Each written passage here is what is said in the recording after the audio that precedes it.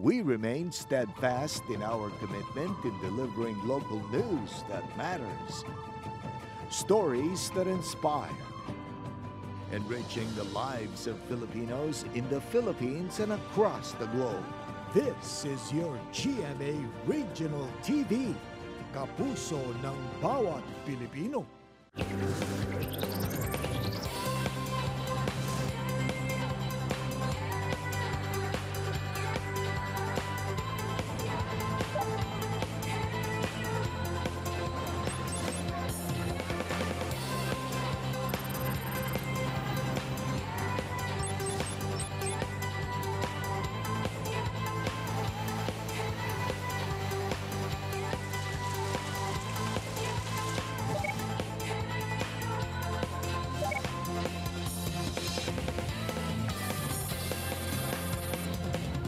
Ini ang GMA Regional TV Early Edition.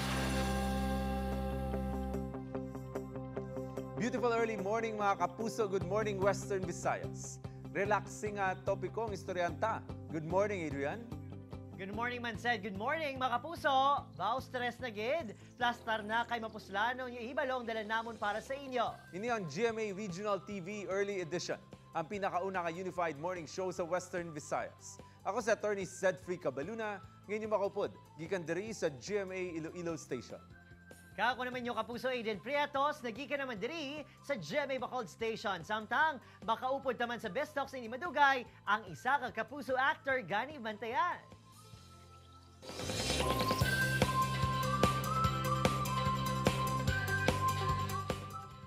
Kalingawan ang dala sa mga post sa TikTok sang Ilongga nga si Samantha Ancheta sa yakapin tatlo ka million nga followers.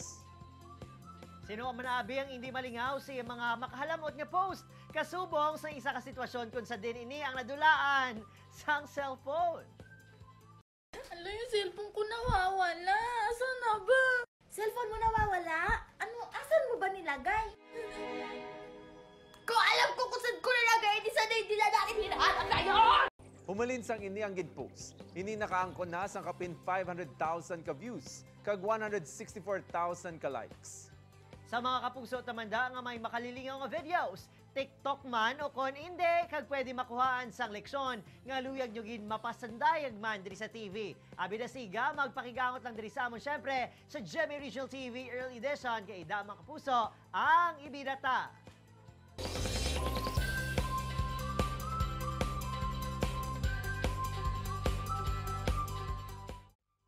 Nagikan sa iya mga training kag eksperyensya sa United Kingdom kag sa Bahrain. Gindala ni Meli Juanico ang iya ihibalo bilang isa ka professional massage therapist sa New Washington Aklan. Sa pag-abot sa pandemya, siya ang napilitan nga magpangita sang alternatibo nga pamaagi sa pagmasahe. Diri iya ginpakilala ang paggamit sang kawayan, paya sang lubi, kag sang chopsticks. Magluwas nga makadulot sang relaxation sa customer na pamatud-an man ni Meli nga ini ang makapaayo pa sa pila ka mga ginabatsyag sa lawas sang tawo. Ang iya estilo ang amat-amat na ginapakilala ni Meli sa iban nga lugar sa Aklan. Mga kapuso, makaupunta sa bungagang isa ka massage therapist nga nagpakilala sa pinasahi nga technique sa pagmasahe sa aklan. Si Ma'am Meli Wanico. Ma'am Meli, good morning. Good morning po, Attorney Sed. Maraming salamat. It's an honor for us na makasama po kayo, Ma'am Meli. Kamusta po kayo? Ah, okay lang po. Kahit ganito, medyo ah, okay lang. Kahit pa paano. Yan yung maganda dyan. Kahit, marami, rin tayo. kahit maraming hinaharap na problema or challenges, okay tayo. No? Yan, yung, yan naman yung Pilipino po eh. Ah, Ma'am Meli, Okay. pag-usapan natin yung pagiging massage therapist ninyo. Ah, kailan po kayo nag-umpisa? Saan po kayo nag-aral sa pagiging massage therapist? Well, actually, attorney, nag, nagkasakit po kasi ako. Actually, I was an aero instructor po sa Middle East, sa Marina Club. Ah, after naman po ng mga ilang buwan, I go, went back to Bahrain to work as an air instructor. Learning the skills, ah in-incorporate ko siya sa pagtuturo ng exercise, gym instructor. Naging reflexologist po ako para po sa mga pambabae lang kasi po you cannot touch a man in in the Middle East. Nakapunta po ako ng London. Nag-aral po ako. Binigyan po ako ng scholarship grant. at saka kumuha po ako ng international license ko. Mhm. From that experience of yours, uh, what's quite, quite interesting is uh, nag-aral ka nga ng mga pagmamasahe or pagte-therapy, pero you came up with your own. Sabi nito, you uh, came up with itong tawag na bamboo and coconut massage. No? Uh, paano mo to, how did you come Okay. up with this? Paano mo nagawa po ito? uh, having the the knowledge na pwede kong incorporate kasi nagturo din po ako ng mang- yung nagsara po yung Boracay, ah, yung Calibo International Airport, 'di ba nag nagsara 'yon? Yes, yes. So yung mga staff po ng ng KIA, eh, nagturo po kami ng ng ano sa ng St. Gabriel ng massage, healthcare at saka yung emergency services. Mhm. So ako po yung na na-assign magturo ng massage. Doon ko po na-realize na pwede palang gamitin namin yung bamboo, coconut shell, at saka chopstick. Kasi sabi ko, siguro magandang i-introduce ito sa mga tourist din kasi naiiba tayo eh. Using the indigenous materials, uh, this long uh, bamboo, we can use it in the back, in the legs. Yung mga malalaking extremities, ito naman po, uh, we can still use in the back and in the thigh, sa legs. Uh, ito naman po, we can use it on the face, okay, sa mga neck, and to the foot. Yung mga coconut, Okay. meron bang coconut pa na ginagamit mo? Ay, because it's Apa. part? Mayroon pa. Mayroon pa. Ah, this is the coconut shell. So, pwede mo pong i- i-ganan. Aha, okay. Ma- ah. masarap po siya. Oh, yes. Parang ginawa po natin, it's it's an extension of your hands, extension of your arm, and your fingers. With all those skills na ginawa namin, parang ang sarap naman yan. So, madami po kaming clients using that kind of technique. Naiiba po kasi eh. Ang tanong ng ah, naman, ako gusto, parang gusto kong i-try. Pero ang tanong naman is baka mahal ito. Ano ba yung ah, ano ba yung presyo nito kumpara sa regular massage na I'm sure lagi natin ginagawa especially when we're stressed and tired and ah, and medyo masama yung pakiramdam, mabigat yung mga shoulders natin. Magkano ba to? Of course, attorney. Of course, attorney, pag sa airport, medyo iba naman yung prices because of the tourist. But for for us, 300 lower is our price. We have a package deal of um, 5 plus 1. 1.5 lang po. Hmm. And you can use it for 3 month session. Looking forward one day ma-experience ko rin yung services ninyo. Salamat, Ma'am Melly. Oh, yeah, pumunta po kayo. Pumunta lang kayo, attorney. Just give me a call. Okay. Anytime. Ah, mga kapuso, dugang impormasyon kag good vibes sa pagbalik sang GMA Regional TV Early Edition. Ini ang GMA Regional TV Early Edition.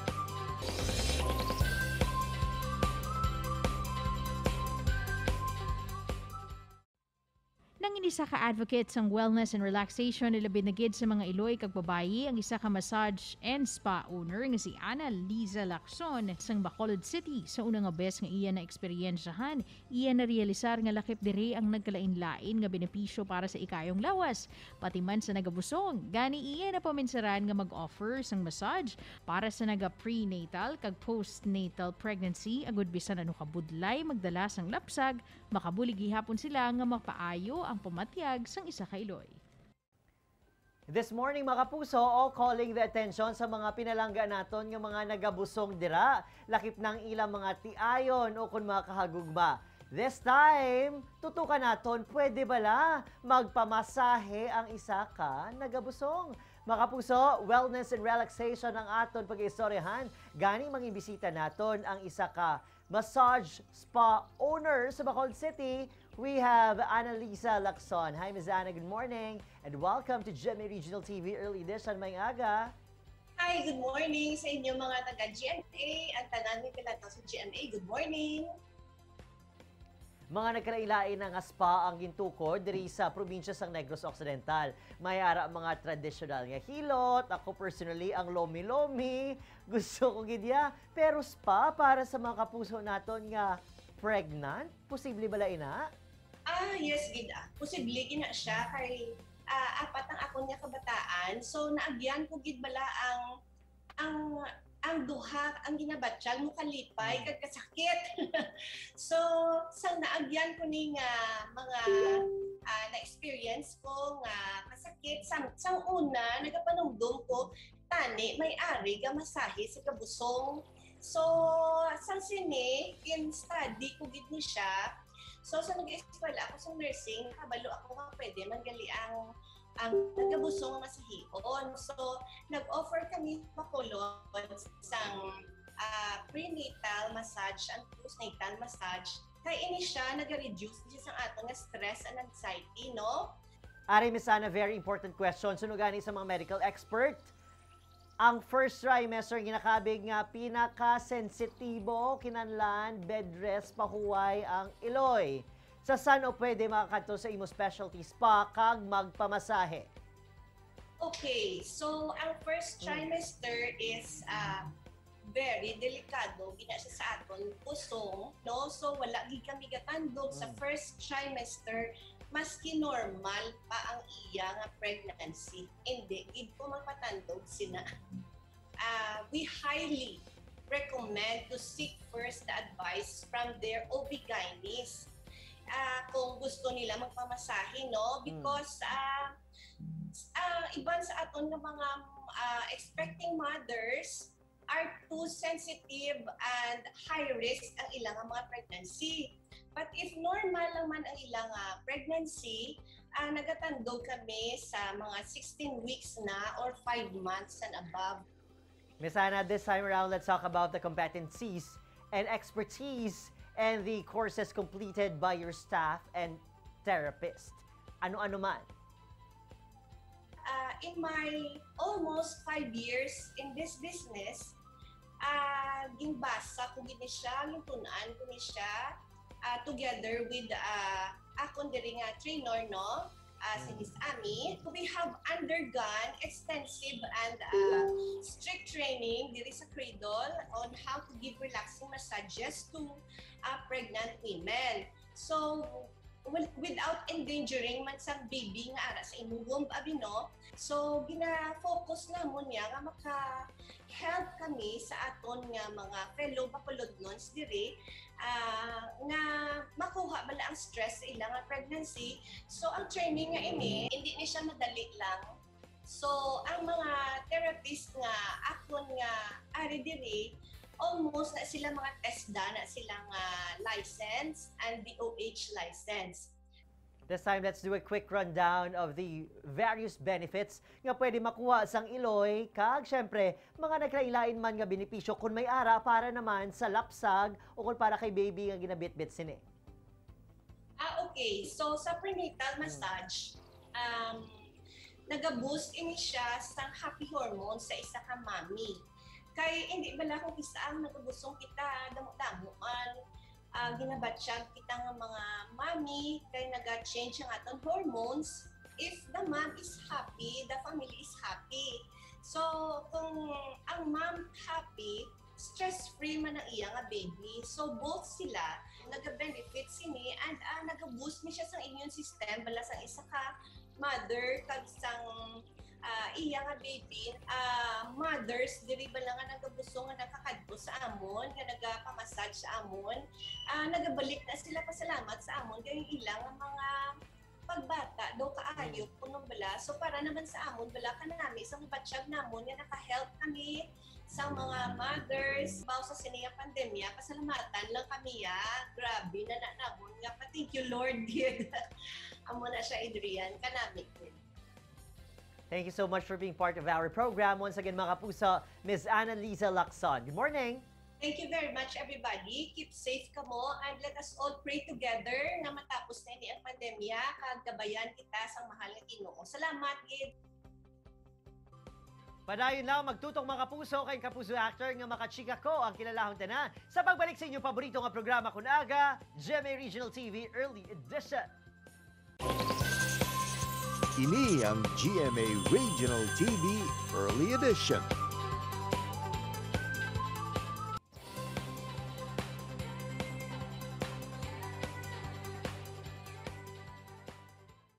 Hi there mga kapuso, welcome back. You're still watching GMA Regional TV Early Edition.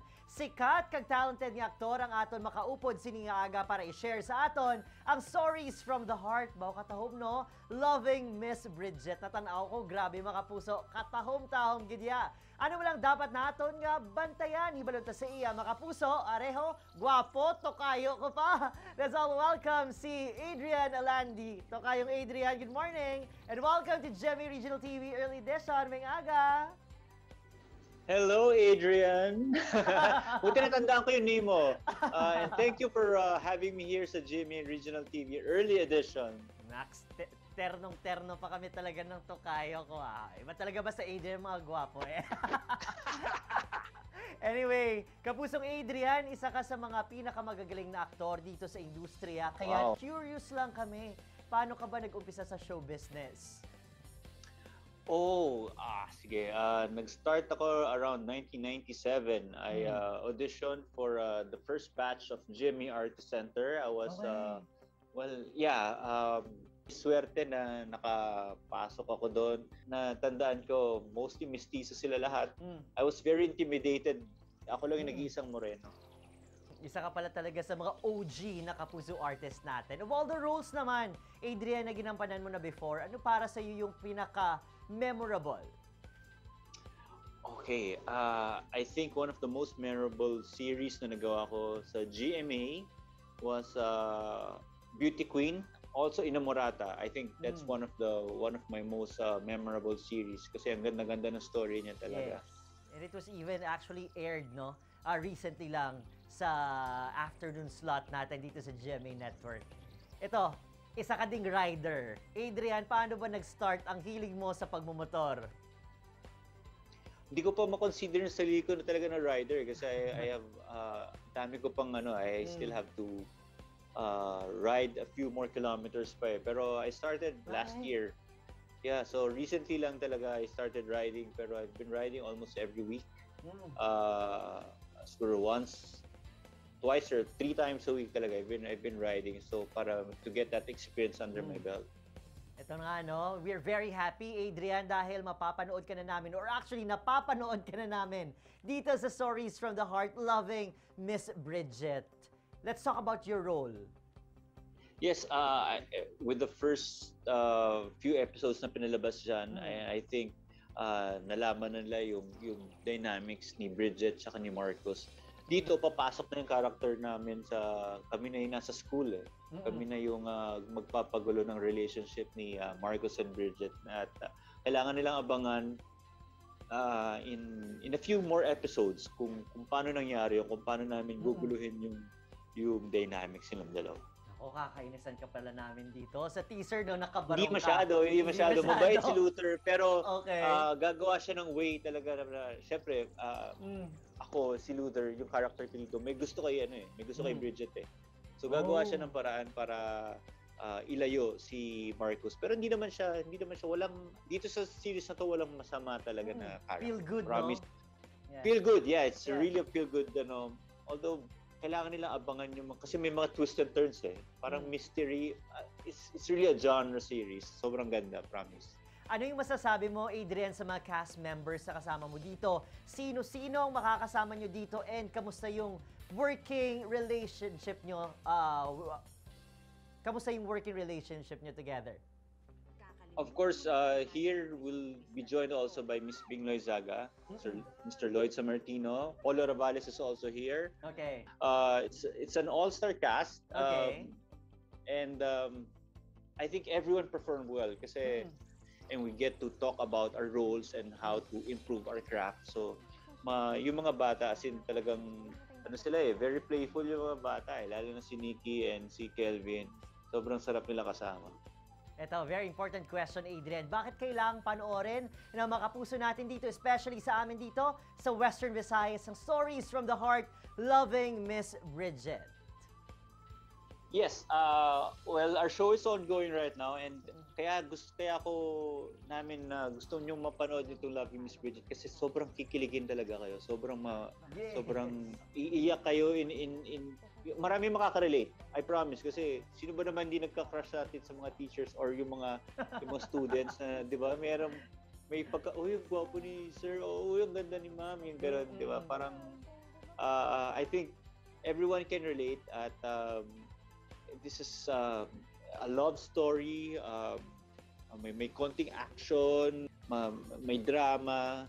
Kikiligin talaga sila, promise, kay Beauty tsaka kay Kelvin. Yes. Kapuso Adrian Alandi, may aga. Good morning. Be safe, brother. Good morning. Good morning. Be safe, everyone.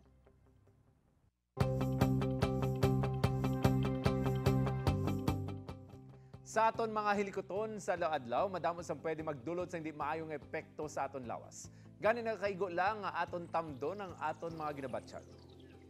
Suno pa gani makapuso sa Indian nationalist nga si Mahatma Gandhi. There is more to life than increasing its speed. Bauchak to gid perfect. Mga puso sa tunga sa kasakon, wala sang malain kung kita ang magpahuway kag magtipon sa panibagong pwersa para magpadayon sa aton mga obligasyon. Mga kapuso, may manimalantaw ang ining episode sa GMA Regional TV official website sa www.gmaregionaltv.com. Kag please click subscribe sa amon official YouTube channel. Kapuso, today's the best day of your life! Gani start early, start right. Kaupod kay Katie Nuvilla, ako naman yung kapuso Adrian Prietos. Madamang salamat sa inyo tutok sa mga aga kag nagasalig kami sa ipadayon nga suporta sa GMA Regional TV Early Edition.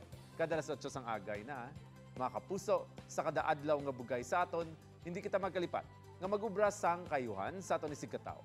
Ako si Attorney Cedfrey Cabaluna, bung puso para sa Pilipino.